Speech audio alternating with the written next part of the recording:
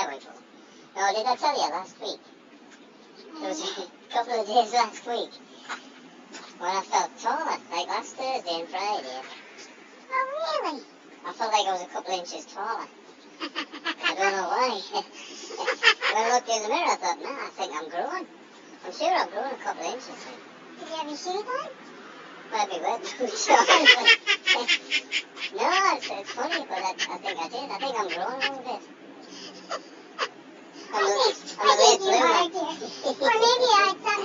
On shrinking. Hey, you think? I don't know. Could be, could be I'm shrinking. You just haven't shrunk yet. No, but I was on.